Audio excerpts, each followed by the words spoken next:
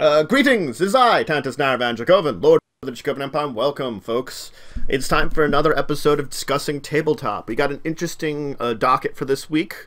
We are going to be talking first about uh, the Plane Shift anthologies and a little bit about the Plane Shift format for Magic the Gathering in general. Then we're talking about how D&D has now been inducted into the Toy Hall of Fame. That's going to be an exciting one to talk about.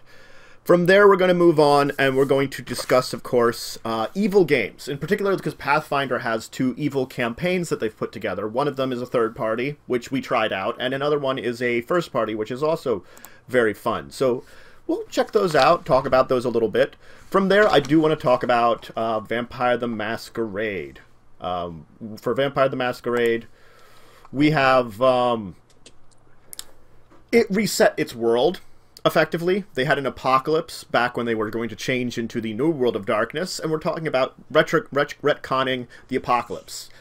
Then, of course, we have uh, Sage Game Advice, uh, which we do are going to have uh, some questions to talk about, and uh, Stories from the Table, which we do have some stories we want to talk about once again, discussing some of our games that we've been in in the past. All right, so I do want to start out with a little bit of news on the channel. Uh, I am continuing with all the information if you haven't checked out my vlog, I, of course, you know, you can check out, I do have a Patreon now, just mentioning it. I would probably mention that a few times, um, just in case someone wants to give extra support for the channel. It's not needed, but I want to mention it. Um, there will be, of course, new stuff coming out where I am planning on streaming some role-playing games. The first one that's on the docket is 5th edition Spelljammer, has been decided on. I'm already working on building up for the campaign and looking for players. Um, I haven't talk to everyone I need to to talk about it. So I'm just, you know, figuring out who we're gonna get, setting everything up for it.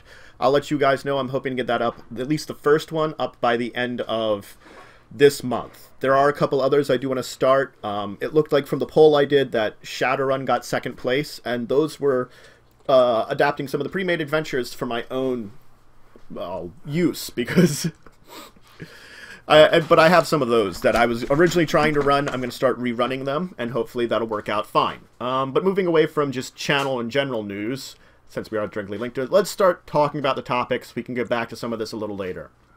So the first one I did, of course, want to talk about is Plane Shift.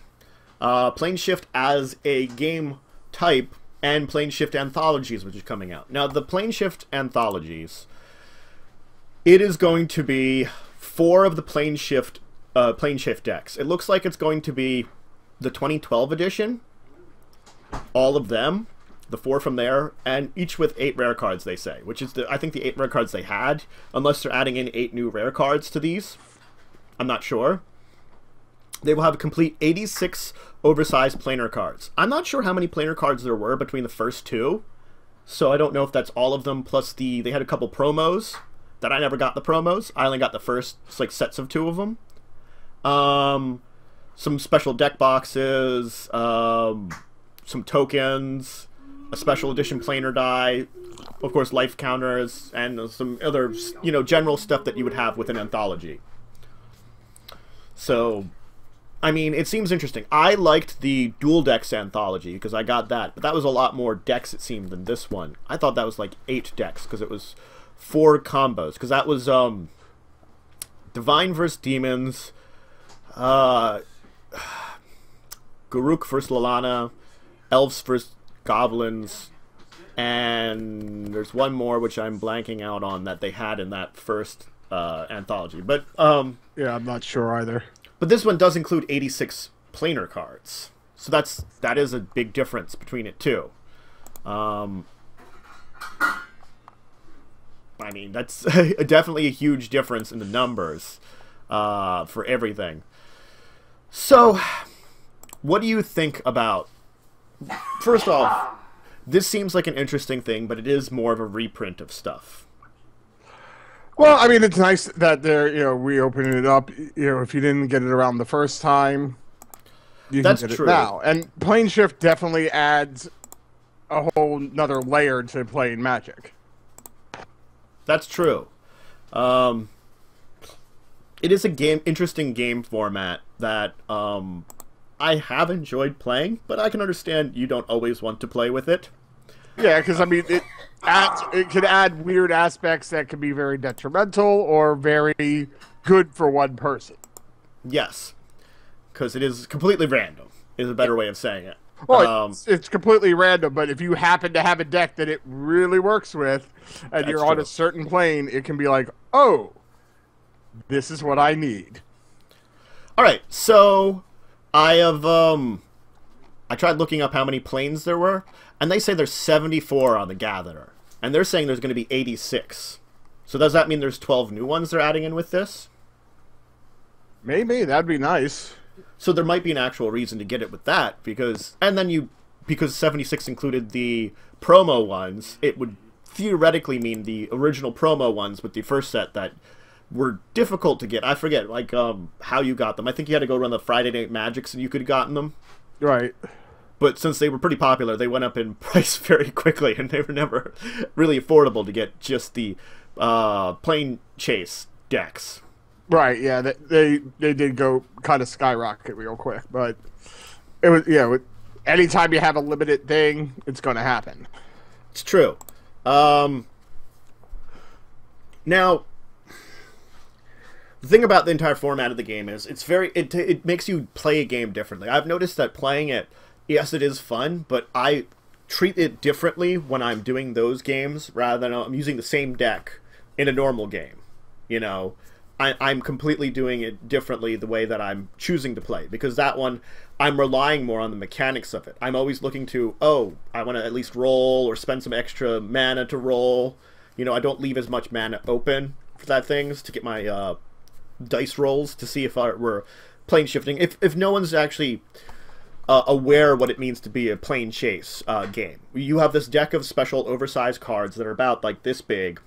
Each of them has a special ability on it that affects all the players. So it's out, all the players are getting the effects of it. Then there's a special die. That's a six sided die that has four blank sides, one of this circular symbol, which is a chaos symbol, and one of a symbol, which is the like sideways arrow, which is the plane shift uh, symbol. If you roll the chaos, each card also has a chaos ability. You activate that ability, it goes off. So it has a overall ability that's affecting everybody, and a temporary ability that you can roll to get. If you roll the plane shift, you flip over the next card in the entire deck, and you keep going like that. So you have a second oversized card deck that you're going to be shifting through. So the and, and the thing is, it starts with you get one free roll a turn, and then every roll after that costs one more mana. So it costs you one for the second roll, two for the third roll, four for the or three for the fourth roll, four for the fifth roll, and so on and so forth, compounding.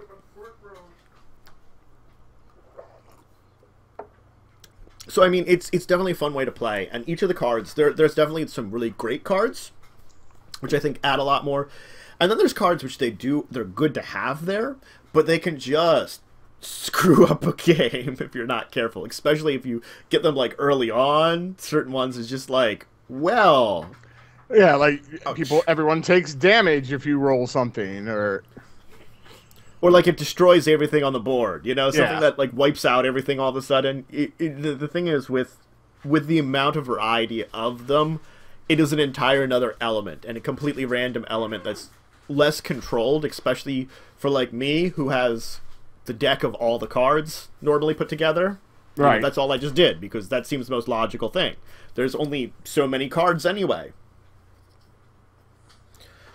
um I mean,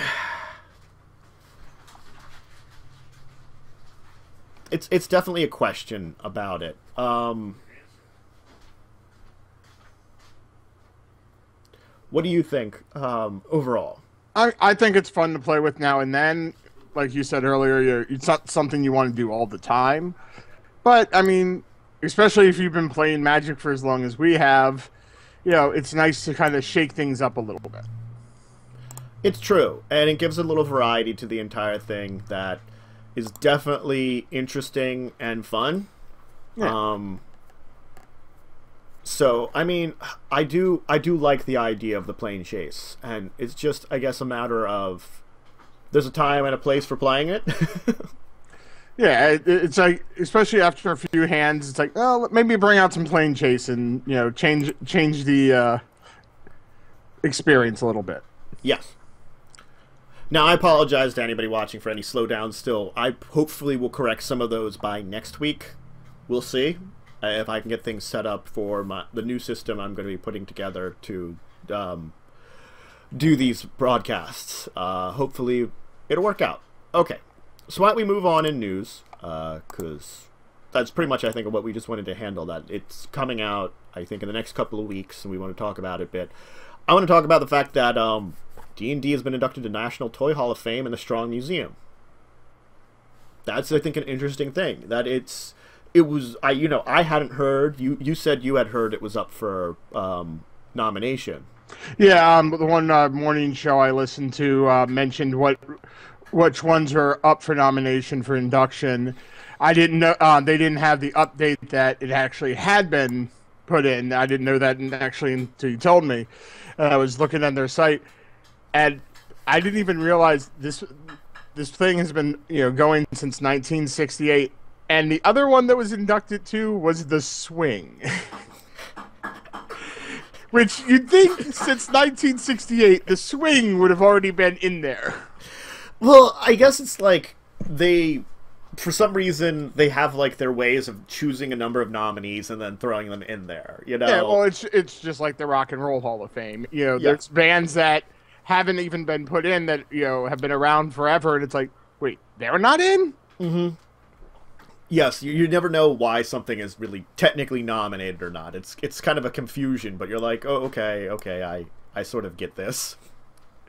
But D and D, I mean, that's great. I, I don't know if there's I, I haven't gotten the chance to check if there's any other you know gaming systems like it that's been nominated. Oh, I don't even know a lot of what's in there too. Yeah, I'll agree. Um, And it's something I'm I'm probably going to try to investigate and see what other things have actually been inducted. I mean, I've heard about other ones getting inducted into it, but it's sort of like was in passing, and I didn't really like realize it as much. You know. Right. Okay, so this year the other one that was inducted was the Fisher Price Little People. yeah, I saw that too. Excuse me. Which I mean, that's a classic thing that definitely deserves it as well. Yeah, I remember that too. I mean, it's just like, I, it's like you think about some of these things, you're like, oh, now like, for, let's see here. Um, I, okay, I've gotten to the list. Um, of some of the list here. Um, like the Atari is in there, a Nintendo Game Boy. Cool.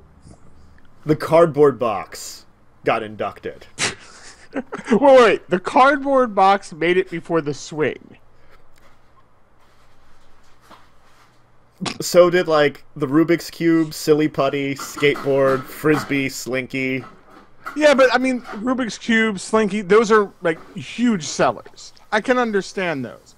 But the cardboard box made it in before the swing. Uh, yeah. So did the kite. Legos looks like it was one of the early ones in '98 when they started. Um, I guess this version of the Hall of Fame. Okay, so they've only been inducting probably since, or making like a Hall of Fame. I know the Strong National Museum of Play's been open since '68, but maybe they've only been. Putting together this since the late '90s, which is not Yeah. that's not bad because the thing is like you're like oh it's only since the late '90s, but that's almost 20 years now. You know that's 20 years that they've been putting together this, so it's like making yeah, me feel old. D and D is 42. Yes. It was 1974. Where, what, what's your class? I'm an elf. I'm really lucky. I qualified to be an elf. I'm the best class there is at the moment. Though apparently both Raggedy Ann and Raggedy Andy got inducted, but in different times. Ooh. Strange. Yeah, Ann in think you'd do that to- 2002 and Andy in 2007. You think you'd do that as a pair? You'd think, but apparently not. Because you can't have Raggedy Ann without Raggedy Andy, or vice versa. Now it looks like um they don't it, I don't know if they have ceremonies every year. It looks like they might, but they don't they it looks like they vary in the amount of inductions they have per year though. Okay. from like the numbers I'm seeing here, because they don't have a huge list in uh, under the inducted toys on their site. If you if you went to the uh, D and D site for it, they had a link. Oh, okay. Uh, like when under Dungeon and Dragons, when they talk about the, them getting into it, they have a link to the Strong Museum if you want to see it. I'm on it now. Yeah. So the puppet was last year, and Super Soaker. Ooh. Chaz Rubber Duck. It looks like yeah, D and D is the only role playing game that's been Now there has been some board games, but they're like very classic board games. right. But I meant the only role playing game That's true. that's, yes. that they have acknowledged. So that's that's a really prestigious honor, I think. well, it's because it's one of the first two. Anyway, you have to think about. oh that, yeah. that it's one of the earliest that there was. So it, it started the genre. Now Well, I there's pretty much a role playing game for anything you can imagine. that's that's true. That, Like that's very true. Buffy, the role playing game. That is that is true. Um, that that exists. Uh, but no, I think it, it it's it's an honor definitely, and um, I mean they're very proud of it, and I think we should be as fans, we should be very happy that they have gotten this kind of recognition, especially because this seems a lot more mainstream than a lot of people often take it. I think fifth edition has brought things to the more mainstream anyway, because like It's a lot. It's probably the easiest D and D system to learn. Yeah. I think it's like first edition was when things started out. Um, second edition was when they began popularity a little bit. You know, the early popularities when they really did it. Really, Right. right. Then unfortunately TSR was going out of business because they, I guess, were just throwing things out there and weren't like figuring out what stuck a lot. So then Wizards of the Coast bought it out. And third edition was a great resurgence towards the modern era but they wanted to fix things, especially because like 3.5, I guess they they saw the waning popularity, and then they tried fourth edition, and fourth edition was an interesting experiment, but it was an experiment and mostly failed, I would say. Yeah, I'm not I saying mean, there was good parts of the system and bad parts of the system, and I didn't mind playing in the system, but I always felt like it felt more board gamey. it, it or- seemed like an MMO on pen and paper to me. Yes, yes, I think it mimicked a lot of those abilities. It, it took it, it took the fighting to the to the front and the storytelling to the back. Yes, I will agree that that seemed to be like what they were sort of aiming for with fourth edition. Um, again, I did enjoy playing it, but it felt like again we were doing a board game a lot of times because you almost needed a battle board for that one, which is going to go to a question a little later on about battle boards that we're going to talk about. But yeah, I felt like you needed one when you were playing that. There was like no way with how it was set up that you could go without one. Yeah, well, it was a, it was a lot of fight after fight after fight, and everything really mattered. Of hey, what's my visibility here? What where exactly is everything? It did need to be mapped out a lot more. Yeah, so I mean, I do think it was it wasn't a bad thing, but again, I'm glad they've sort of moved on to 5th edition now. Yeah, because I think fifth edition, has really brought it back to where it was. That you know the story matters, the interactive between the characters matters. Yes, there's the fighting still, and that you you need that, but it doesn't have to be number one. That's true. And I do like how they have had this sort of resurgence of simplicity almost, you call it. Because I feel like a lot of the other ones weren't simple in a way. Well, yeah, well, because by the time you got towards the end of 3.5, there was so much source material, so many options that you could easily get lost in th- those options. Yeah, Sometimes, you know, it's, it, there's it's there's a good thing about having a lot of options, but then there's the negative thing, and then you have people who try. You have some, you know, munchkins, you know, super gamers who try to exploit every option they can, and they'll spend hours trying, you know, looking through books and stuff to try to create something so ridiculously powerful. And fifth edition cut back on how much you can do that. I agree, and I like that too. That it we've limited a little bit of the um, necessity for that, but but anyway, I think we're getting a little bit off topic here anyway, Yeah. since we were really talking about getting him in the Toy Hall of Fame. Sure. It, lo- it does look like um, it's a great thing to be inducted. Uh, you know, we're happy for them. Uh, it, it does kind of rectify and and sort of like the. I only saw a bit of what the display it looked like. It looked like they had um, like some of the original materials. Oh yeah, some- I'm looking at it now. It does look like they had some stuff from like I think that's third edition, I believe. It might be. You have some of the miniatures. hmm The base game one might be third. Yeah, yeah. And then you have the original book there. And oh my god, that green character sheet. Yeah. Um yeah, I'd have to look at that better. I think that's like See the thing is like even even among first edition there was different printings. The first edition I tried out was a little after was like early 80s just before AD&D, you know.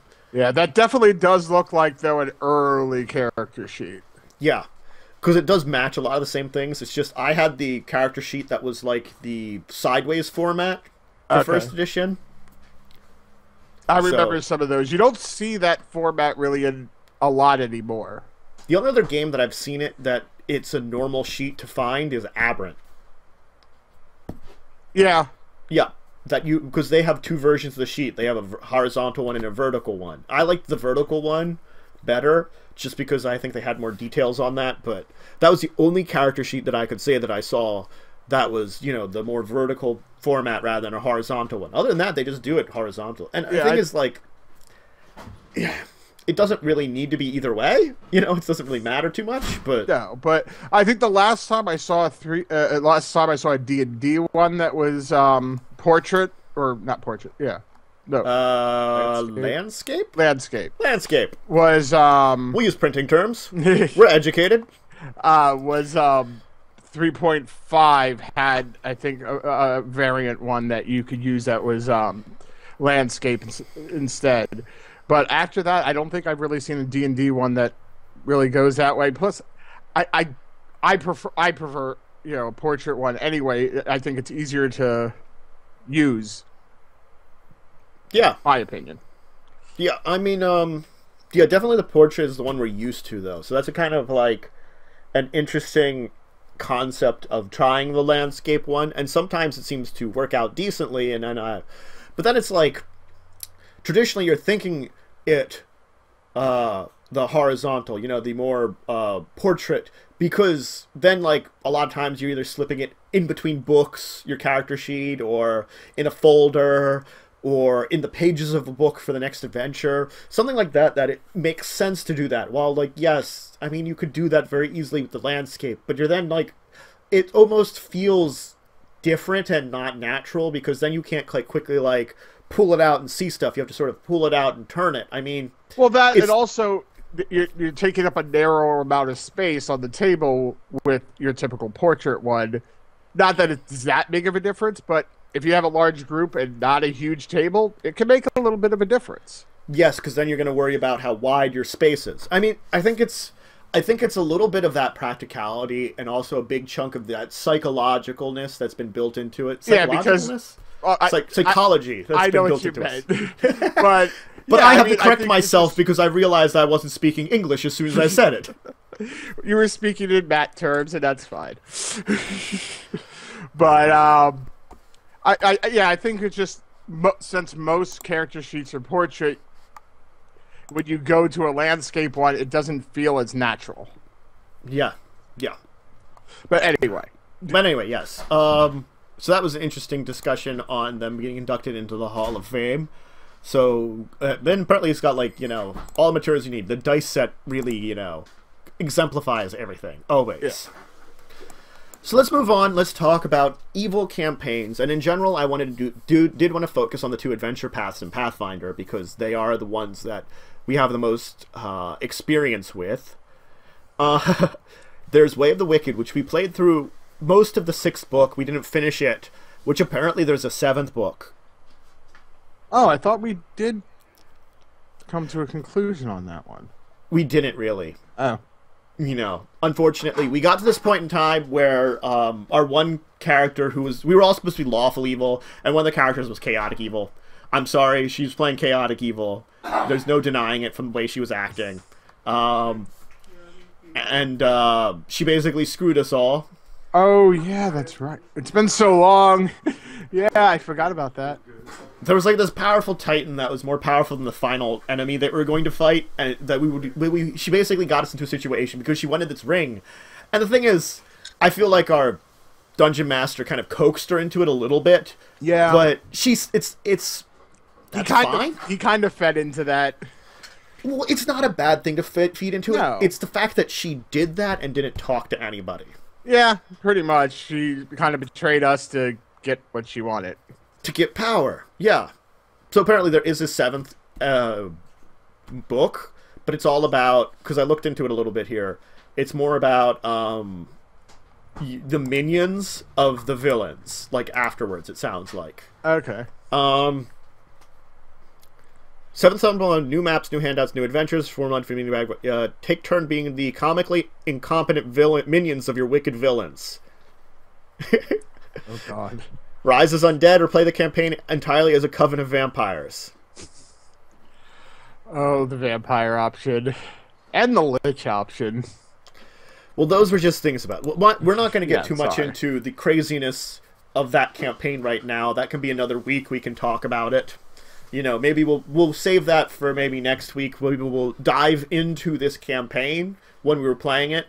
But you know, but so that's one of the evil paths. And Way of the Wicked, uh, if you don't know it, it's it is more of a lawful evil campaign. It is a third party done by Fire Mountain Games, and it was pretty good. It was pretty good. It, I don't think it was quite up to the level of Paizo because Paizo has a little bit more polish, but it was still really good. And there were a couple of things, and they had some interesting concepts like running your own dungeon and having to deal with heroes and stuff, or I really liked in the first book they had an infiltration mission where you're supposed to go to this town and you're supposed to basically destabilize it so an enemy army can invade it, and that was really fun.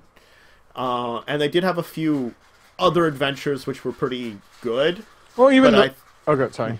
Go ahead first. I was gonna say even the even the first part, just breaking out of prison. Yes. That was a lot of fun. Yeah, I think like maybe like the first three books I would say were really fun, and the next two were not bad. Um, the last one I think that you had like some kingdom management to do, which Right. was interesting. So I mean, I think well the second book the second book had its problems because it, though it was interesting concept, it was a little bit of a slog. You know, it was taking a long time. And I think there was a little bit of that in the last book too, with the kingdom management, which was very similar to the layer management, but with different numbers. Yeah. So it's like, and we were we were being very design heavy to a GM that didn't really care about design heaviness too much too, which was one of the problems. I mean, I think it wasn't a book for him almost in a way, and that was a little bit of a problem. But it was fun to play an evil campaign where we were villains. Now, Paizo did do their own one, which was a follow up to Ra. I think it was um, Wrath of the Righteous, was Hell's Vengeance which was all about again you're being lawful evil because really you could do an evil campaign with any alignment really lawful evil is the one that makes the most sense because they get along Yeah, you you're not make- trying to betray each other on a constant basis. yeah i mean chaotic evil you don't care if you kill your friends so if you should do something to kill them it could just break down the party very easily.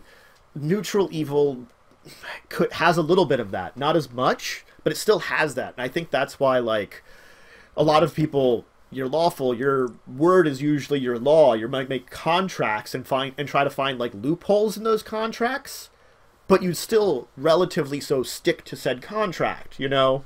Or said Right. like deal almost Yeah, you can trust a, a, a lawful evil person a little bit better than you can, definitely better than you can trust a chaotic evil person because you never know what the heck they're going to do, and it's never going to be good.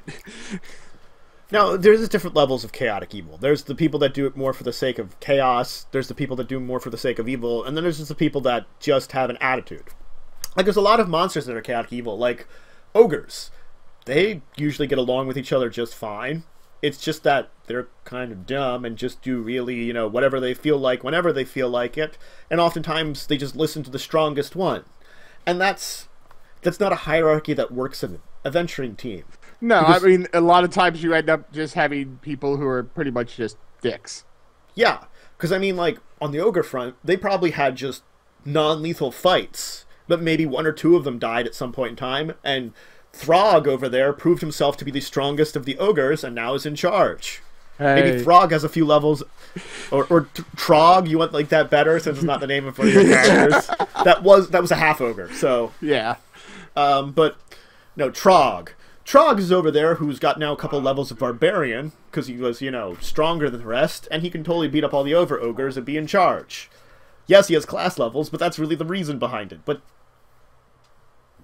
it's the manner that they fought it out, you know, and someone was like, "Me in charge, grr." Right. So I think like chaotic evil works in a way, but it doesn't really work for a hero group. I think is the best way of saying it.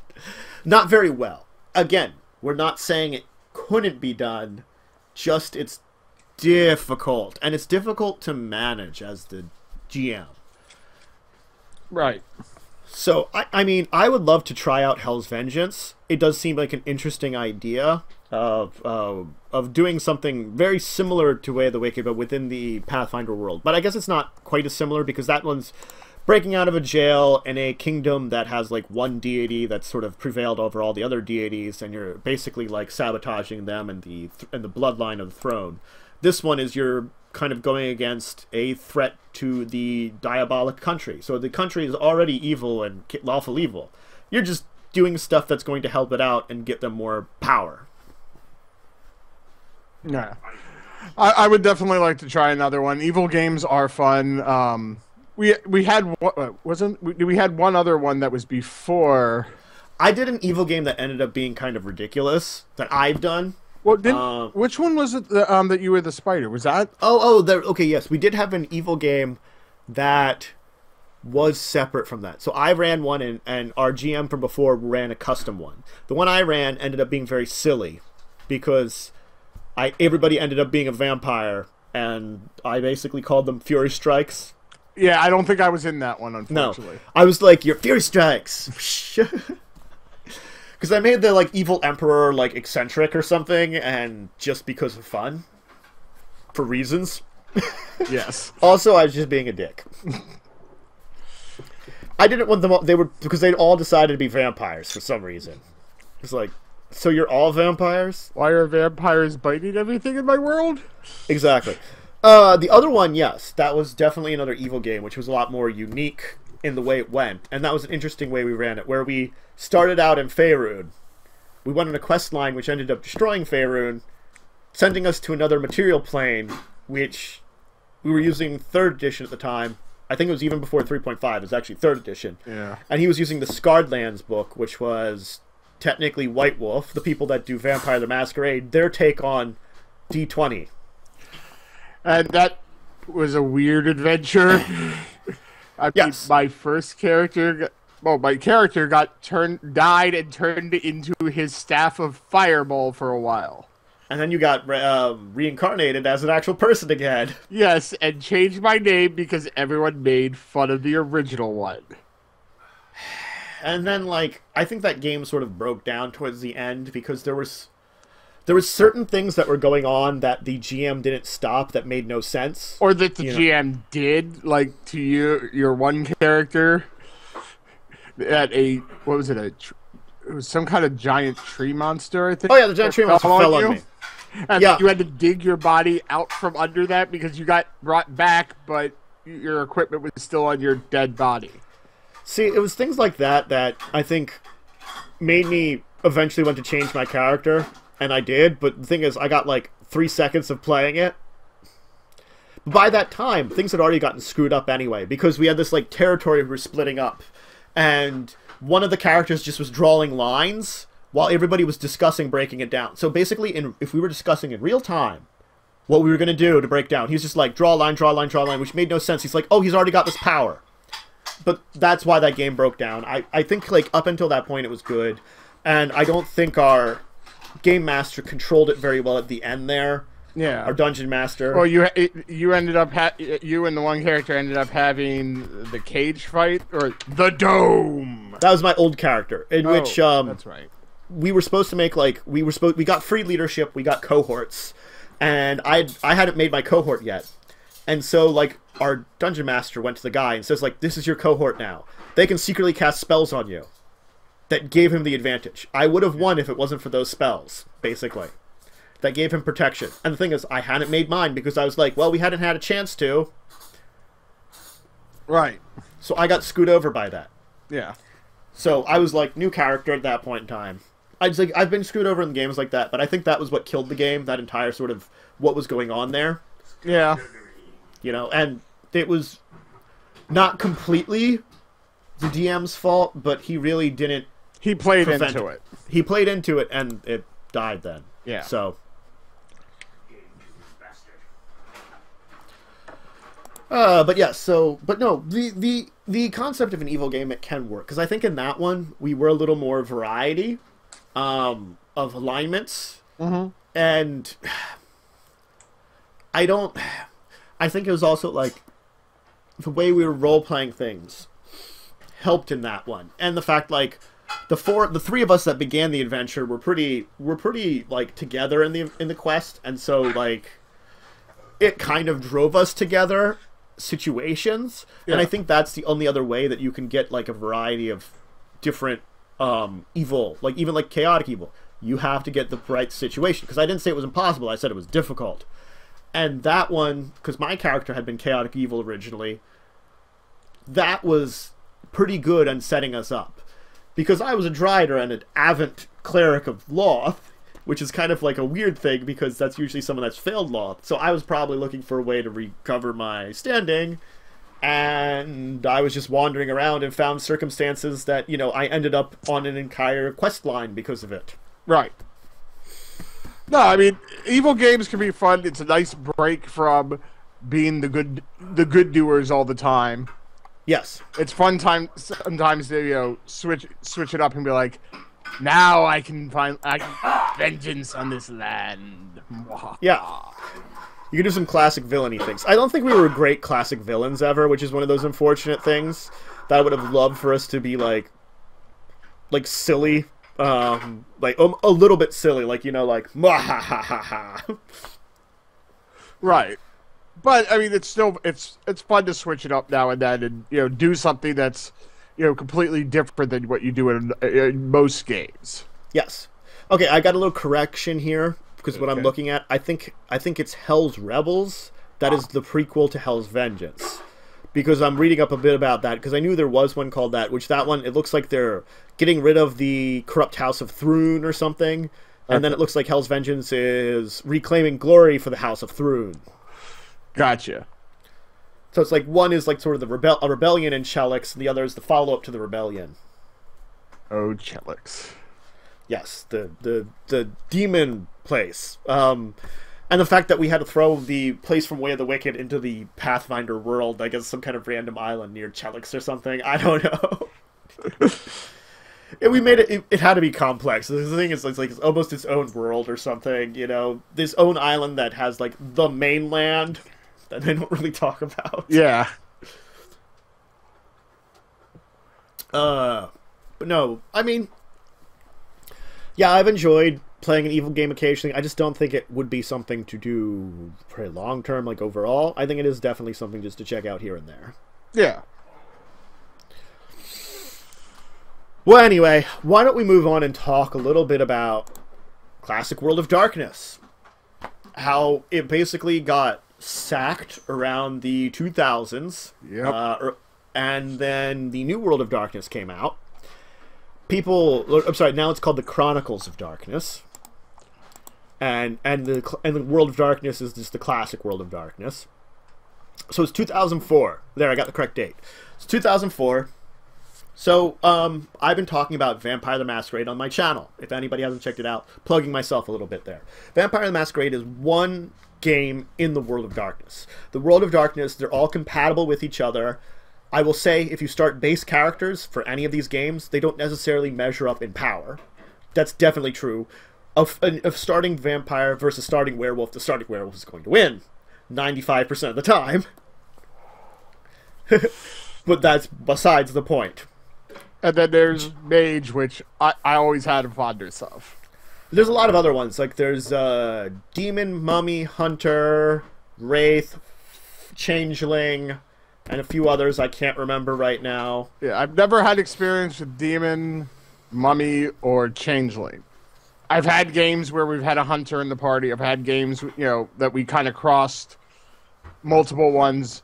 That you know, we had a mage, a werewolf, a vampire, and a hunter. Those are the easy ones. Like I've had, I've dealt with some stuff with um, with wraiths. I've dealt with some stuff with changeling a little bit. Um, changeling just seems like kind of a weird one. It is a weird one. It definitely is. Uh, again, like I, I, I was like hanging around in an area like doing. I think it was when I was at the gaming society that was at our high school people were playing Changeling. And the thing is, I was playing Magic like right next door to it, so I was able to overhear most of their sessions. So for like five sessions, I was able to like kind of hear what was going on. And so the thing is like, yes, it's the same basic D10 system.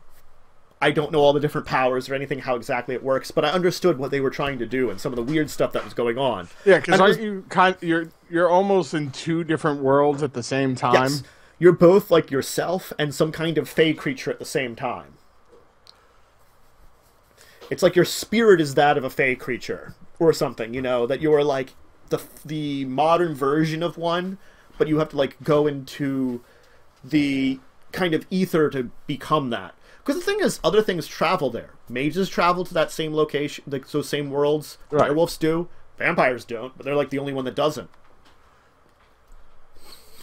You know, they the the werewolves pierce the veil. You know, they do go to all these like different sort of planes of existence like that overlay our own but well werewolves are more natural things so i think that's why vampires are kind of an unnatural creature. That's true. So they're the, they're the exception. Um but before we get way too off topic so effectively the world of darkness was all these all these together. And so like again werewolf mage and vampire were the main ones, and each of them had their own like factions and wars going on in between them. Uh, werewolves had the forces of the worm, mages had the technocrats, vampires ha- were the Camarilla had the Sabbat because you were normally playing the Camarilla. Right. But um, so around 2004, they decided they were going to nuke everything. So every one of their systems had their apocalypse, basically. Whatever apocalypse they were they had planned and talked about, like like I think Vampire was like Gehenna or something, where their elders would rise up, the ones that were their progenitors, and would like walk the world again and cause destruction. And like, I think Werewolf was like the incarnation of the worm arrives on Earth or something. I think it's also a good um, thing to point out that that was originally built into the storyline, though. That they said they said when it came out that eventually there would be an apocalypse yes, and a rebirth. And and they had a certain date in mind. Right. Is the thing they did. Now the problem stems from what they made when they rebirthed it. They made the Chronicles of Darkness, and the Chronicles of Darkness, uh, it was very different, and yeah, like they don't list all the classic World of Darkness worlds. They like when I'm on Onyx Path Publishing, they only talk about some of these the vampire, werewolf, mage, wraith, and changeling because I guess those are the ones that they've worked on getting new material for. Right. I actually have the main book that came out when they did the tr- crossover. You know, the, the after the apocalypse when they started the Chronicles of Darkness, and they kind of they kind of did what fifth edition did with D and D and simplified, but they did it to an extreme. Well, the thing is, I'm talking about World of Darkness stuff, and it was pretty simple. I don't think you need, that's the problem is you didn't really need to simplify it more. No. World of Darkness is a very simple system. It really is. It's it's probably the easiest system to make a character in out of all of these. You know, it really technically is out of all the role playing games I've really attempted. Uh, I think I think fifth edition is close to it for ease of making a character, but it's sort of World of Darkness is you have like three three groupings of attributes You have these many points that you can split between them. What do you want? Do you want to be more physical, mental, or social? And then you have some attributes. Oh, here's some charts. Split some points between them. Choose a vampire clan. You know, it's sort of like there are some things that you do have to do some reading for, but it's the same as like choosing a class in 5th edition. After that, it's just sort of throwing some things together. And I think it was relatively easy, so I just don't know. It was, um, Well, and they got rid of a lot of the some of the vampire clans. They they really narrowed down what you could do, and because it's already a, a a simplistic system, narrowing it down to that just kind of neutered it. Yeah, I mean, and um, it does seem like they had a lot of material they tried to put out with, and it, it does have some popularity still because Onyx Path still does publish stuff for Chronicles of Darkness in the in their new like sort of now that they've taken control of all the White Wolf stuff. So it's not like they it isn't there. It's just they split it off, and it's a different kind of system now. Right. And I, I think. oh, go ahead. well, go ahead. I was gonna say, I think the classic players of World of Darkness still tend to, you know, the original, and maybe more newer players because that's what came out, tend to the Chronicles. I think that's true. Um, I still like the classic better personally. Oh, I'm um, way. Granted, granted, like um, it also is, that's, that's a pretty old system too. It's it's actually 25 years old. They just oh that's right they just had their 25th anniversary. Yeah, because it was um 80s, right? 91. Or not? Oh, okay, 91. I'm sorry. Yeah. Yeah, so that that's still a decently aged system. I mean, I haven't done a comparison of, you know, when other role playing games came out. Well, we know when D and D did, and Yeah. I I know Shadowrun was early was late 80s I think because Yeah. it was around the time that um Neuromancer came out, the book. I think that was earlier than World of Darkness, but um, it's like trying to figure, figure out when all of them were, because Pathfinder is relatively new, because that was a response to 3.5 ending and 4th edition coming out. So it's like we talk about that, but again, it is a relatively new uh, system in comparison to a lot of others. Uh, I think. Okay, it's 89 for Shadowrun. So it's only a couple years older. Because that's the thing is like. Okay, and um, Cyberpunk, because you know that was like the first role playing game I ever did. Yeah. that was '83. I knew that was probably older because that was the original, like, because that was the original one in response to Neuromancer, and then someone decided to combine basically D and D and Cyberpunk and came up with Shadowrun. Um, what's some other older systems that are pretty good? I let me check uh, Earthdawn because that's one I've been talking about. They're from '93, so they're actually a little younger than World of Darkness. But um. But anyway, before we get too off the topic on like, trying to like figure out how old these Yeah. systems are, the thing, the 80s 90s was a good resurgence for a lot of these series that still hold true today. I mean, they still have some popularity to them, and some of them are still really good. Granted, I think there are some systems that are newer. Um, definitely, like you can consider Pathfinder that um, is you know a um, kind of a new one to the entire grouping of it. But eh, well, I talk a lot about BESM, and that was like late '90s. So you know that's that was right after like the anime insurgents. So Yeah, I'm I'm looking uh, Wikipedia right now. It has a list of all the. I found a list that, uh, when all different role playing games came out. Uh, 70s seems to be you know basically the traditional where role playing started. 80s and 90s it definitely started to flourish. okay.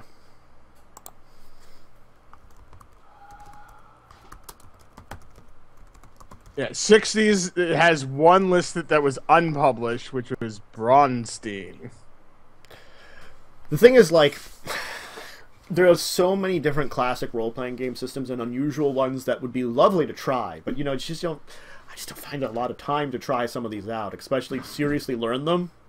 I mean, I, I I know like a dozen role-playing game systems technically that I could easily either I've played in or in the past, or I could or I can get, get back into it at this point in time. Granted, like some of them are very similar, like the World of Darkness games. They are compatible, but they're their own systems too. You know, Right. they all have these little unique things about them that make them very different that you have to know about when running them. Putting them together is a challenge, but not impossible. Um, Yeah, you just need a GM who's really thor- thoroughly knows the different systems. I've run four different versions of Shadowrun.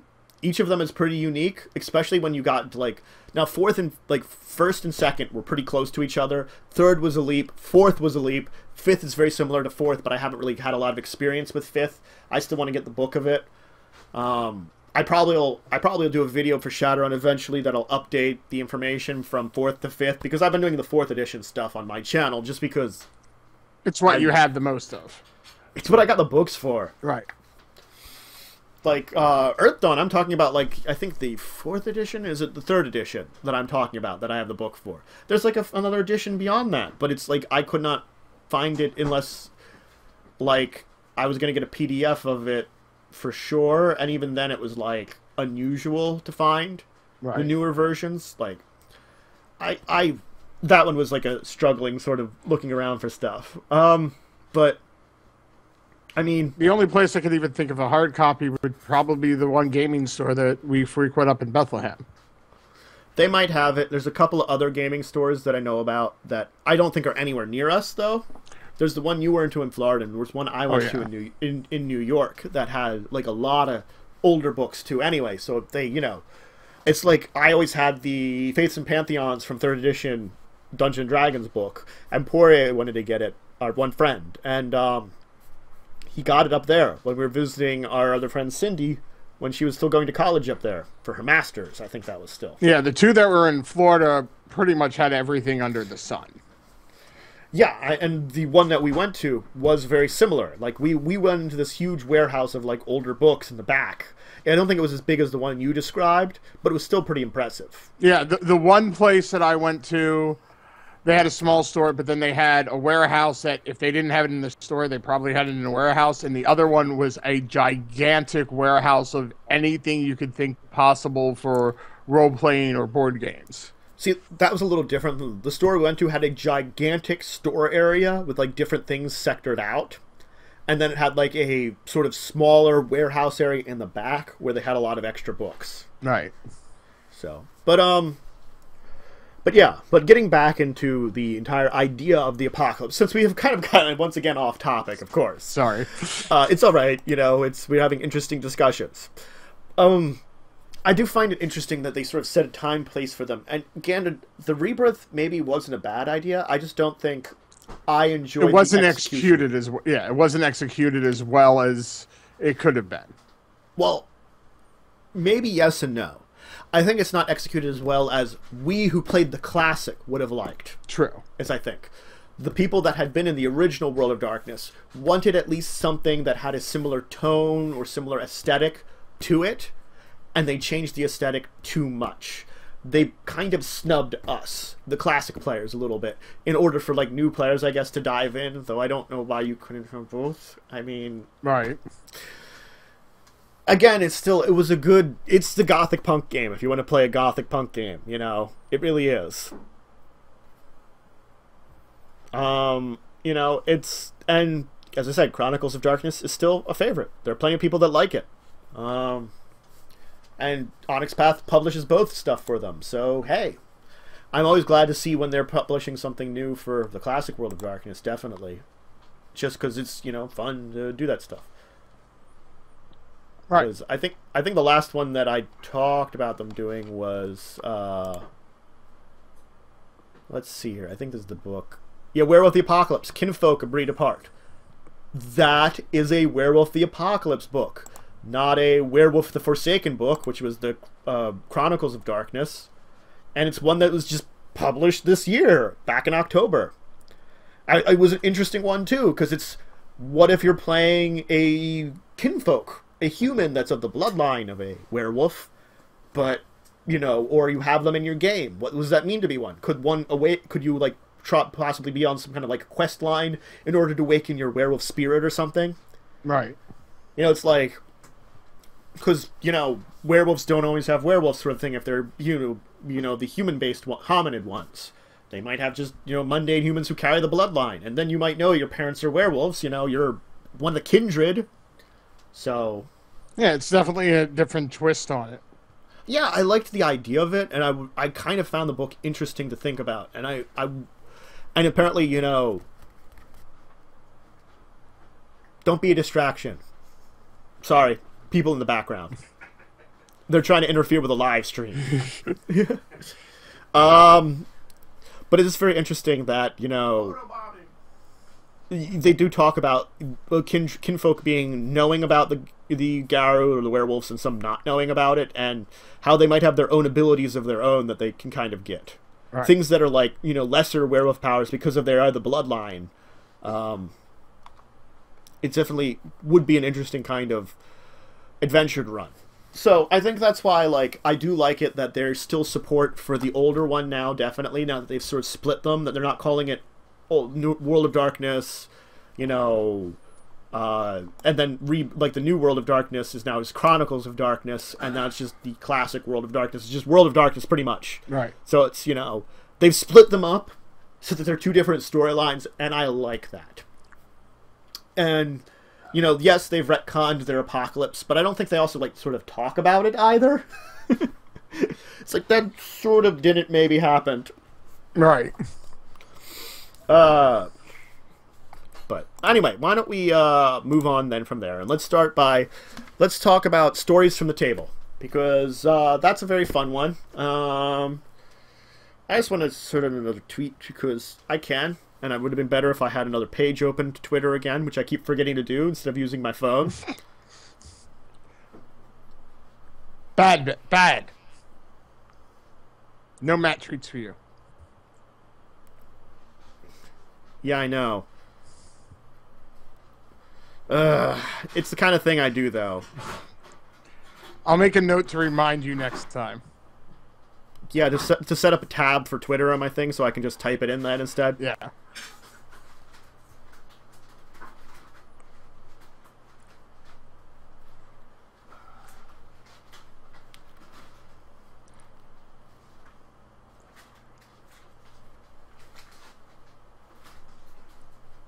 Okay, sent out.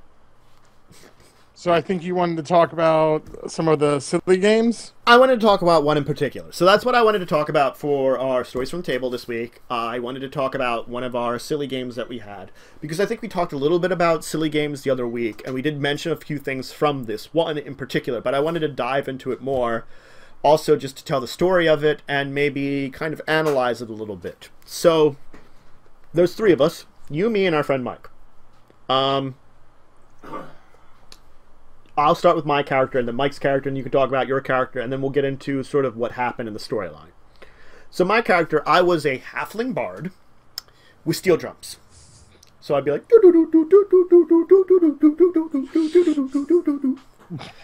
What was that? yeah. I'm, I'm doing the doot doot doots as if I have a steel drum in front of me, and and it just sounds kind of silly. But no, I was a halfling bard on steel drums, and so that was my character. That was the entire concept of my character. I don't think there was anything needed more needed to be said. Then we had. What, I don't. What class was he? What class is Mike? Was he, was, a uh, paladin? No. uh, no, he was like an elven ranger or something. oh yeah, I think I think you're right. because he like always played an Elven Ranger. Not always, but like there's been more than one of these silly games that he's played an Elven Ranger. I think. Uh, I, a female Elven Ranger, may we know. Oh yes, that's right. Because of that one. Yeah. Thing that happened, which we'll talk about a little later. And then there's your character. Wait, I have one thing to do first. Good enough. Good enough. I just had to add that in. Okay. Um. So yeah, I was a I was dwarven. I was a dwarven monk yep. who he had lost his hands and replaced them with masterwork plus one wooden. Oh no, wait, they were just masterwork at that time. That's right. Yeah. Just masterwork, Masterwork fists. which were made of wood. Yes. So you had like two wooden fists. And I had slots in them to put utensils. which were not. It's, it was probably like a challenge to get them in there in the first place. But when you did, you were like ready to eat. You know, it's like you got to take 15 minutes to get these in here. Although our GM kept saying I would just eat mashed potatoes with my fists. You just go go, and then like, Um, I'm like, no, no, I have utensils that I can put into them. I wear them on my belt so I can go shunk and shovel food. the back. only question I had was like, how do you get changed in the morning and put on your? fist? I never change, okay? Well, the thing is, like, I was thinking about certain things, and like, you know, if you get into an odd position, you can basically like put your fists on with the help of your feet if you really needed to. It would be really dumb looking, but it would be a possibility. I don't think I ever took my fists off. Yeah, probably not. But we're saying in the first place, if you needed to like change out your fists, because then like I, we don't really know how you got dressed ever. you know, Like I too. said, I didn't. Someone would just cast prestidigitation on me and clean me that way. it only lasts like an hour. Okay, I will get a hireling to constantly cast prestidigitation on me. It also wasn't at will at that point in time. Fine. I smelled, okay? I was a dwarf. We occasionally dumped you in a river and called it a day. it worked. Or a barrel full of soap, you know, something like that. You know. Quick, dump the barrel of perfume on him. Mmm, now I smell like roses. Uh, but no. Um, so we went into a town where there was this mysterious wizard tower, and there was also we were like apparently really poor because there was really like there was a couple of things that were interesting in town. First, there was the orphanage, which had a big area, which the orphans were annoying, and I hated them because they kept mocking me. Uh, but we'll get to the result of orphans and my battle later on because apparently I got into a war with orphans. Yes. And then there was um, there was like the high end part of town, which was very expensive. Uh, there was a there was the inn which we could afford to stay at, but the inn didn't provide food. They provided like, oh, there's this local place you can eat nearby. You know, there's like Right. this high end place to eat, which we're like, oh, that's too expensive. The other place was some place called the Slop Bucket. Or no, it was this, it was like the Trough or something. Something like that. But anyway, so what it was is they took they made really good food, but they would serve it out in like a pig's trough, and you'd have to eat out of that. Yep. So the tale goes, because we eventually learned this, is that apparently the tower was a wizard's tower, and the wizard had dumped out a magical trough, or a cursed trough, or something. So we ate out of the cursed trough, and then we all like, I think most of us, no, you went, and because the trough place had also cheap like in there, Yeah. you decided to go stay there, which was basically a barn. Yep. So you effectively were acting like an animal, while the rest of the other two of us, I think, we fell asleep in the room because of the magic of what was going on. Though we wanted to head back to the inn. Yes. You know, so you had actually like chose where that you wanted to doze off there, while we were like, oh, we'll go back to the. so we apparently all woke up cursed. So my curse was, whenever I would speak, a random rod of wonder effect would go off. Our friend Mike, his character would blink, which would mean when his player would blink in real game, then he would activate a bag of tricks. And if he winked, only half the animal appeared. He did learn that. Yes. And then with me, whenever I, me as the player would laugh, I would turn into a random animal. See, the thing is, the I got the best out of it because, you know, I was able to speak out of game after a little while, Yes. but you know, because it was impossible. Like the rest of you could actually like say something and describe what your character's doing, and it would work. I was like, you know, yes, my character's totally going to speak up in game at some point in time. So it was like it, he was not controlled at that at all. No. So then it was the entire misadventures of learning our abilities, of you shape shifting into animals, and animals falling from the sky and littering down, and me doing crazy crap, and like by the time I learned my abilities, the orphans were pissing me off again, so I totally was like speaking at their orphanage until a lightning bolt happened and blew it up. Yes. I, I remember Chad gave me a little control that I could try to concentrate to turn into a certain animal, but the bad part was the appendages would be wooden. Yeah, Like so I was a, um, I think an eagle at one point with wooden, wooden wings, and then I was an octopus which had all eight. which is kind of weird. You think you'd only have two of them Yes, wooden, that's but what I thought too, but I turned into a stiltopus for some reason Yes. because it was more Yes. comical. uh huh. They stole that in Family Guy because wasn't it Family Guy that had the octopus that had all yes, wooden be- legs? because of the um, one um, ship guy who has four peg, well, two peg legs and two peg arms. Yes. So they told they stole that from us, robbers. Uh, but anyway, so we began our misadventures, which our illustrious ranger didn't really like us too much or something. And I do remember us ending up in one of the shops, and I shrunk down to like six inches tall. And so he was like, "Okay, I'm gonna carry you, and I'm gonna put you like in my shirt." So I cry. Uh, so I was like, or like in between, like in my bosom or something. And I'm like, "Okay." And then I, then I Oh, just because I was bored and tiny, Yes. I did something which I will not quote it completely because it shouldn't really, but I um, I decided for You mean a haunted crotch? Yes, because I was like, I have ghost sounds, dancing lights, and I have ghost sounds and dancing lights. Haunted. It's either haunted or you had a rave down there. One of the two. uh, I I think I've made like some other bad comments to go along with this, but I will leave those out of here because that was just you know, this has been over a decade, so of course mature. Actually, probably even more than that at this point in time. God, but you know, maturity levels were like no, not existent, Yes. not at all. Oh God. I, I know it. I know it. I'm not going to say it. I'm going to hold Yes. back. I I'll say one thing. I still had Mage Hand to cast. Yes. Mm-hmm. That's where I'm sticking.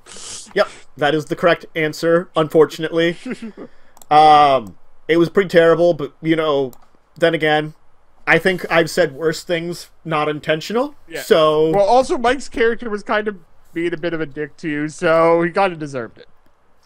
Yeah, he, he then ran ran off and was raining rhinos or something on us. I think we were trying to do this like chase scene up to the wizard's tower because he's like, "I'm gonna go get it fixed, but I'm gonna abandon you guys so you don't have to, so you don't get it or something." Yeah, he's like, um, I don't like you guys. I'm going off on my own. Yeah, and then he was like wandering off somewhere, dropping animals or something, and it was like, I, I, I think we never got our fix. We never got into the wizard's tower. We we sort of got to working with that, but I think like an elephant he summoned went on a rampage or something. We were trying to deal with. Yeah, and then the game kind of fell apart, but it was a silly game. It had that. You can only do it for so long anyway. Yes, yes. Like I have a couple other stories of silly games, but I don't think you're as much involved, so I don't know. I might use those for another week where we can sort of talk about those too, just because then, um, you know, maybe I can get your opinions on it. But no, no, you know, on some of the adventures, thoughts on those. So I think this it wasn't a bad game, and the concept for the silliness behind it wasn't bad either. That we sort of all got cursed. It it could have been actually even if it wasn't a silly game, that even that storyline could have worked in a normal game too.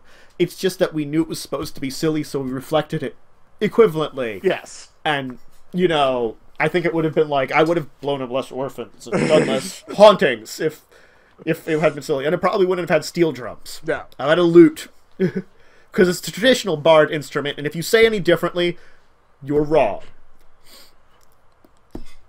What about? But a then again, you? No, maybe a bagpipe, just because it's a bagpipe and it's funny. Yes. and you can take that half seriously. And then you could be the Scotsman. Yes. Well, that's a different hero I had. I know. I just had to reference it. I think that was Mutants and Masterminds. I had the Scotsman. Yes. With the, with the powers of Scotland. Because you got them from radioactive haggis. Yep. I everybody else in our because I was a teacher and everyone else in our class died from radioactive haggis. I was the only one that survived. I think a couple other teachers didn't weren't there eating at the time, so they survived, but they all went through weird transformations too. Like our, the art teacher went insane and got psychic powers. That was Cindy. But no, yeah, um, you know, radioactive haggis. So I had the power of Scotland, and my Scottish accent is really bad. I apologize to all of Scotland for what I'm about to say. Okay, fat bastard. Yes, it's just as bad. Yes. Bad accents. Uh, I am gonna. My Russian accent is far better, but I'm not going to use it today because it is not the day for the Russian accent. But what about your female Spanish accent? That is Yours is just horrible. no. That's just bad, and it shouldn't be used in any actual context anymore. No. The times for using it were bad because it was kind. It's kind of really bad. I'm sorry. It's like you talk about it, but it's like that's just terrible, and it kind of is just a really bad stereotype Yes, that I really shouldn't use. I know. I think I tried to use it like once just because I needed some kind of accent, and it's become a joke since then. Yes. I can still do it, but it is more of a joke of like bad accents, Yes. which is a little better then. Um, but no, the game was fun. It was a good one to do. Uh, it's unfortunate that I don't think any of the silly games we've had have really gone past one session. We've had silly games that have definitely managed to be a long session. I think this was a shorter one in comparison. This was the shortest of the three that I can remember that GM Chad running or DM. He ran that one. He ran the first one. The first two you weren't involved in. The first one was a little longer than this one, and it was very funny. And I should probably talk a story about that one because that was, I think, I think that was technically the best one out of them. And the second one wasn't so bad either. But that second one we broke down into two teams, and we were going to fight each other in a gangland style fight, which was kind of funny and interesting. So that was an interesting story too. That's another day also, which should be saved for. I got some ideas though for the next couple of weeks though for saving for some things, so we'll see about those. Okay. Um, but let's moving on to gaming sage advice to answer some questions. I only have one question for this week, which is one I again have come up with because no one has yet to give us any questions. So remember, I have gaming sage advice at yahoo.com if you want to leave any question suggestions for a topic you want us to discuss or any gaming based questions you want us to discuss. Please leave it there. I'm gonna try to like plaster that maybe onto my channel or into my descriptions. Um, I don't know if anybody will notice it, but I'll try to like try to reference it a little bit more. Maybe I'll mention that after gathering the roll too when I talk about discussing tabletop. Um, just because that's a good way place to see it because it's a more popular show and under mine. All right, so the question I have is this is more a concept more than a question, I guess, but it's the use of the battle board versus the use of not a battle board. Now we talked about fourth edition, you needed a battle board. Period. The way it was set up, you needed to know I'm X spaces from here, I have to maneuver around here, do this here. But in most average games, you can have a map, but do you need a board of that map? That's the question. And what is the difference between having them? Is what's the necessity? What is like the advantage over one or the other? I I think it depends on the type of battle you're having. If you have a lot if if you have a lot of objects in the area that you know give opportunities to hide behind and you have characters that can take advantage of that. Or if you know line of sight really matters then definitely battle boards help. Um, i think one of our dms slash gms who has done that fairly well would be um, our other friend matt.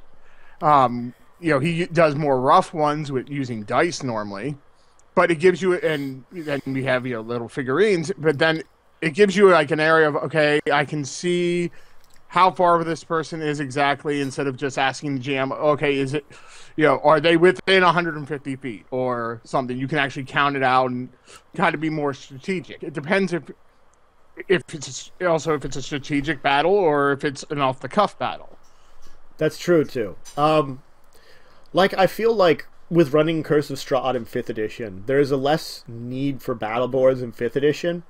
I don't. I can see using them still, but I think just because I just haven't bothered with it as of yet.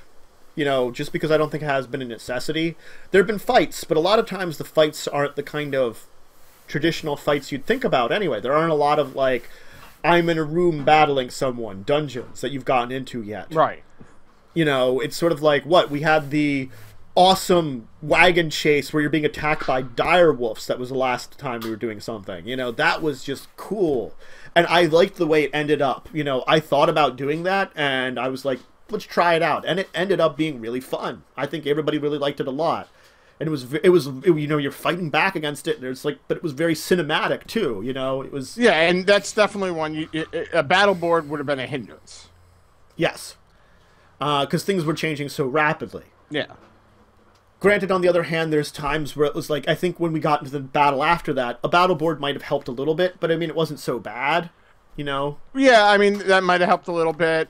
If it would have been more of a battle with Strahd himself when he was doing when we kind of faced him, but that was kind of a more he's appearing to be a dick and we're way underpowered to actually do anything against him. Don't try. Well, he was trying to do something, and you're like, "We'll foil you!" Ha ha ha ha! Now let's run away. Yes. Except for the one character who decided to fight to the death for reasons, just because. Because he was tired of being a cleric. whatever. Um, whatever. Yeah. But I mean, uh, yeah, I mean, if you're if if it's something that you've like staked out a place, and you know you're going to, you know, you're trying to be strategic, battle board's definitely going to improve that fight. Yes, that's true. That's where um, it's almost a necessity. Mm-hmm. Yeah, um, and going with battle boards, that's uh, our one GM who we love as a person, but it's not as great as a GM. He did try to do an interesting thing with he had a really super large tablet and he tried to sync it up for a battle board, which would have been interesting if we could have got it to work properly. Well, he's he, he tried a lot of things while we were still playing with him as a GM. Um, you know, and that's the thing is he tried a bunch of different things which are very interesting. He tried the syncing up with a tablet. He tried to put a, like a big map on his table, yeah. and so you'd flip over things as you'd explore it. Uh, that was kind of interesting too. Um, granted, that's doing the paper map, which I've tried the paper map before, which it just requires extra work. Yeah, it's not a bad thing to do, but so you have to like print out everything, assemble it all together. You know, I've done that before. It's put together maps like that, but then it's trying to like keep things covered up too strategically, and that doesn't always work. Right. Like I do like I do like for the one time I've tried the roll, the I think it's the Roll Twenty app, um, which is like technically it's like a website you can do, which they have an interesting way of doing it, and they actually will show it, and you'd have to have it like an online thing, but that's it's not as good for like our games. Right. It would be better if we were all playing online. Then yeah, the app works fine, and that's a great way of having battle boards. It actually rolls for you too, which is great. Um, I've been watching a group play some fifth edition, uh, new one, Lost Initiative. I-, I think they're a great group and they're hilarious. If you want to check out some like a D&D group, I'd actually recommend it. I can send you some links for it. Uh, I can leave a link in the description for when I do the YouTube channel too, because I recommend you guys check that one out. I mean, I do watch a couple of D&D games. Uh, I occasionally will catch something like Critical Role, which is pretty famous, which is pretty popular. Um, the Dice Camera Action, which is run by Chris Perkins, who he's doing Curse of Strahd, and he wrote Curse of Strahd. So I mean, that's like, uh, but no. Um, it's also I think good to watch other people DM sometimes. Getting a little off topic here, because you get an idea of their styles, and you can also then reflect on like that seems to be like something I do that's incorrect, and I can correct that. Like you can start out as a great, then you don't really have a lot of flaws to correct when you don't when you're just playing and you don't have a great wings like I think like me and our other main GM we share some of the same flaws and mirror other flaws. So that's a problem because we really don't learn from each other. Right. The two other people that we have as GMs in our group that are the main ones, they're really more experimental. Like our friend Poirier when he's running a game he has a certain way of doing things, but they're very simplistic because, you know, it's his real main game. First game he's really been GMing. Our friend Cindy, she does those dice battle boards all the time. flavor, but she doesn't she doesn't have like the same expertise that really sometimes you think you would need for a GM. She asks about rules a lot, and I understand. You know, sometimes you don't remember them, but sometimes like she asks about a rule, and you're like, probably should have remembered this one, but I can understand it happens that you forget things too. You know, Right. sometimes you want to reference things, but it's like it's there's steps in there that I think I understand that both of them huge schedules in comparison to me for sure. And Chad always knows how to put in time to do his writing and stuff like that when he's working on something. Right. And, Well, and the- and he's then- been pretty busy lately anyway. And then that's the other thing when you're talking about um, with battle boards and GMs, you have someone like Chad who admittedly does not have good spatial orientation. So someone like that might not be the best person to try to do a battle board because they have a harder time doing it. No, I think there was one time we did a game with him that had a battle board because I think he did. I think it was one of the weeks you couldn't join Way of the Wicked. Okay. Did like a short one shot or something that was already. We, we never got back to the characters or anything, too, you know. Right. But I think he print. They had he had Cindy print out because it was like a big map, and then he just you know we went through the map. I think he did that for one of the Ways of the Wicked too. No, he printed out smaller maps. Right. Well, and that's the thing is that's a way around it. If you're not good with spatial orientation and you can find a map to use or something, that's a good Yeah. way around it. But he's not good at coming up with something on the fly like that. No, and I don't think he would be good at designing his own maps. I'm great at designing my own maps. I am worse at the off the fly stuff sometimes, which I've been getting better at, you know, finally. You know, it's like I've been working on my improvisational impro, improv, improvisational improvisation, Improvisational. improvisational skills. Yeah. I love it when I get to a word and I know the word and I can never pronounce it. Like pre. Pricks. Damn it! you caught me! Did I catch you monologuing? You caught me monologuing. You're the Grand Prix. Uh, God.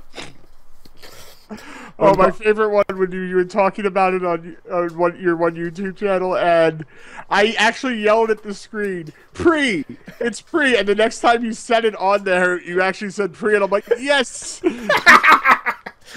I heard you and responded. Um, but no, I think yes, battle boards for one do rely on the style of the GM for sure. Because again, like our friend Poirier, he splits it. There's times where he feels like you need a battle board, times not. Our friend Cindy, she loves to use battle boards almost every time there's a battle. Chad uses it very little. I vary. I usually depends on the game. You know, Right. like also depends on how much effort I'm deciding to put into the game. Like when I'm doing one of the one shots, I'm usually like eh on a battle board. Um like And the times I've GM'd, which has been a little more on the rare side, I haven't really done it. And there's probably with the game that I designed and have run in the past, that's probably one I should do it more often because that kind of thing does matter. Because I try to create, I try to use real life physics in. like there are game systems which I know you can set up sort of battle boards for, but they never actually talk about it, and they're more difficult. Like Shadowrun. Shadowrun, I think, kind of sometimes needs one, just with like all the angles and stuff. But it's they never actually talk about it in the system. It's Right. make up your own. Probably use one from like D and D or something and adapt it like simply. Maybe like use the fifth edition one for simple rules. Yeah, Now you that- could always just get you know one of the basic square maps. You know, maps you know have just squares on it and design what you need on it. Well, that's why like um the dry erase ones are pretty good because then you can like or dry slash wet erase ones. Actually, that's why like I do want to. I I'm always interested in them, though I've never gotten one. One the flip maps that Pathfinder puts out because you're supposed to be able to use just dry and wet erase markers on it. Right. They're made for that, which is kind of interesting too, because it's like, well, that's actually really cool. Granted, you're like you have to use sort of a pre-made map, but you could build your own adventure for it very easily. You know, it's like the map might have, um, lot of different things on it that you could be just throwing together, and it would work just fine. So, I mean, that's one of those things about it that I've always thought about.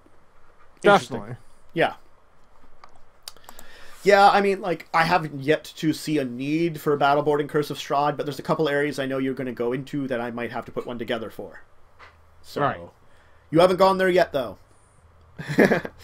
and I've never thought about using a battle board in Vampire, ever. Just the nature of the system, it just is like, it just does not feel like you need it. Yeah, it, it, well, because World of Darkness in general is more of an imagination story driven than yeah it, it, it's more lands it seems to be one that just lands more in the mind than i need to look at something in reality for it Yes, I agree. Because we definitely have had um, some crazy adventures there. yes And, i've and- had a lot of weird adventures in in that system well, the thing is, our current game has been very fun. Like, what you went an entire session without actually fighting anything, yet you guys still had like in, interesting adventures. Oh yeah, I mean, well, that's the great. That's the thing is, it's a very story-driven system. And I definitely was like able to, like, you know, that's one that I've actually learned some lessons by playing again or running again. Is that I come up with some kind of outline, and I can then it's like I can just sort of wing it. Which that's the that's the thing about the last time I tried to write a game is like I tried to actually write a game if I wanted to publish it or something, and that's an entire different beast. That is a monstrosity that is difficult to do. When you just are like coming up with a game on the fly and you just want to write down some like notes about it, that is so much easier. It's like I know they have to go from point A to point B and I've got some stuff in the way. Maybe they could veer off in different directions. Then I could just figure out a different way for them to get to point B. Right. But when you're actually trying to create a, an adventure that could be used by other people and you have to document that, that does change it completely. yes, Uh, You know, how much effort and everything has to be done. definitely. Um, and I think that's where maps and battle boards come in a lot more of too, because like y- the, the there are maps for like everything, even in Curse of Strahd. I have maps of a lot of this crap. Right, because it helps the DM really envision what they're exactly having their Yeah. characters go through. Putting it to players can sometimes be difficult. Like when I'm trying to explain to Chad that there's no way he can be like 250 feet away from Strahd because the area would give him maybe at most 50 difference. I mean, I'm like, I'm like, sorry, the nature of the city around you and the forests and like the trees that are filling it prevent that from occurring properly. But I want to snipe. Then get on top of the goddamn mountain. Yes. Nah. Yep. I, I I think battle boards are an interesting thing to always consider. And again, like I would love to I it's sort of like I would love to use something like roll 20, roll d20, but then it's like, well, I just don't have the setup for it. You'd almost have to like if you're using it, you'd have to have some like kind of ta- tablet or something you're passing around. One for the GM, one for all the players, and then like a big screen for everybody to see or something. Either that or everyone had their own tablet. Yeah. Which again is something like not everyone has really that they can really sit together. And then you're I feel like you're disconnecting a little bit when you're supposed to be doing an in live thing. So Right. I don't know. There's definitely an interesting thing about the entire thing, and I, I think it would it works great for the online games, and it's a great way of putting together like you could just have some battle boards very easily then. But Right. Ah, well, I think that's I think that's good enough for today. Uh, I don't really have any other questions. Uh, do you want to say anything else about uh, battle boards? No, I think that we covered it. So again, uh, I will have the VOD of this up on my YouTube channel if you want to check it out there. I'm sorry for some more of the slowdowns. We've been getting really bad frame issues the past couple of episodes as usual. I'm hoping with the upgrade, I will most likely have to use this laptop as a monitor with the new system, and I have to figure out how to do that because that's where I've got my camera. so at least then I'll be using a system that theoretically will be better at doing this show and tabletop games. But I'll have to adapt that. I'll do, I'll figure that out. I'll I'll play around with that and see what I can do. I might have to buy a wire or something.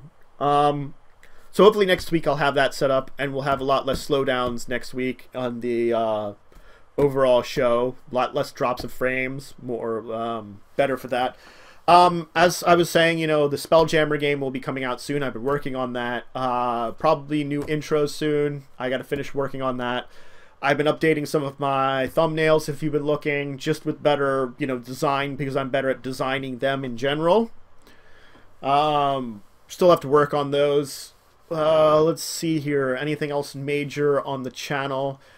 I'll try to get some of the role playing adventure uh, videos out again.